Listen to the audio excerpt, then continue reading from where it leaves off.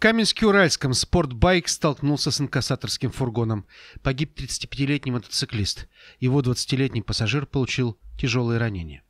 Авария произошла пятничным вечером в Ленинском поселке Каменска в районе автозаправки и автобусной остановки «Лесная». В результате происшествия водитель мотоцикла от полученных травм скончался на месте.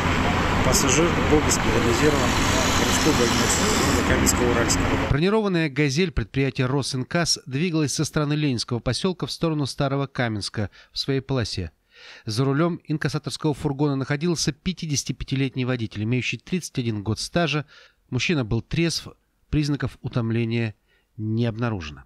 Судя по всему, ни он, ни водитель мотоцикла никаких маневров не планировали. Тем не менее, выйдя из-под контроля своего рулевого, спортивный мотоцикл Honda CBR 600 оказался на встречке. Водитель мотоцикла двигался по улице Ленина со стороны переулка Санаторный в сторону улицы Лермонтова.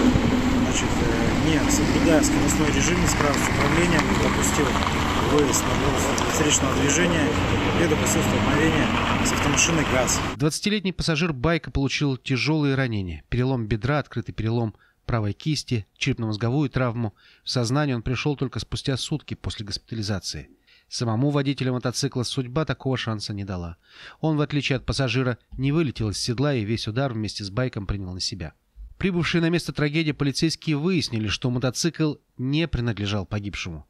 Более того, хозяин байка, хоть и знал этого человека, не передавал ему управление своим мотоциклом.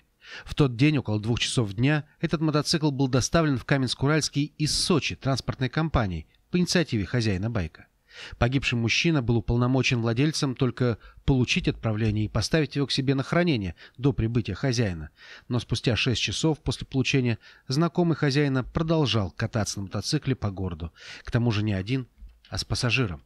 По данным областной госавтоинспекции, в прошлом году на дорогах Свердловской области произошло 176 ДТП с мотоциклистами, в которых 178 человек были травмированы, а 18 погибли. С начала мотосезона 2023 года это уже вторая гибель мотоциклиста на Среднем Урале.